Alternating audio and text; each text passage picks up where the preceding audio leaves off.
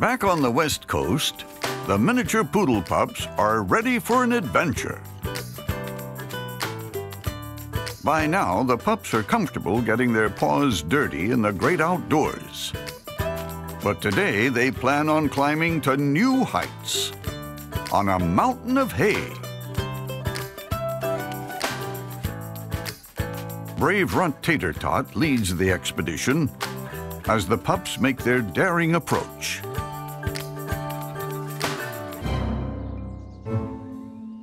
But up close, this mountain is pretty mammoth.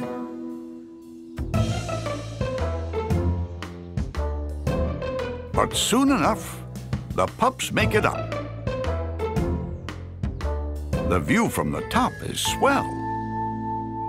But then it dawns on the pups that now they have to get back down again. Brave Tater Tot is the first to take the leap of faith. And soon all his siblings follow his lead